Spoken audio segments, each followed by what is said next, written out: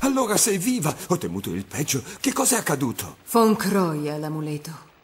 Ah, questo non è un bene, ma almeno non ha ancora l'armatura. Siamo ancora in tempo per sperare di opporci a Seth. Jean, sono distrutta. Non posso riposarmi un attimo. Quando tutto questo sarà finito potrai anche ritirarti. Dobbiamo agire in fretta. I miei uomini stanno conducendo degli scavi alla ricerca del palazzo di Cleopatra. Cleopatra? Esatto. Anche lei aveva inteso l'importanza dell'armatura e l'aveva fatta portare qui, anche se poi se ne sono perse le tracce. E da dove credi sia meglio iniziare a cercare? Dalle catacombe sotto Alessandria. I miei scavi hanno portato alla luce delle stanze che conducono fino alla grande libreria. Non dovremmo essere troppo lontani dal palazzo di Cleopatra, anche se dobbiamo ancora trovare una via d'ingresso. Ma tu... Indicami il luogo. C'è un problema.